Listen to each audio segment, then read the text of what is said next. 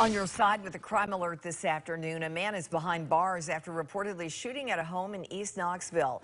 KPD officers made the arrest just after 7 last night. We were able to get drone footage of that arrest of 38-year-old Robert Pannell. According to the police report, a homeowner called 911 to report someone shooting at their house.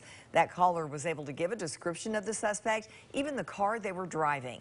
Just minutes later, police tracked down Pannell and identified him as the shooter. He allegedly fired those shots after an argument with people who live in the home. No one was hit by the gunfire.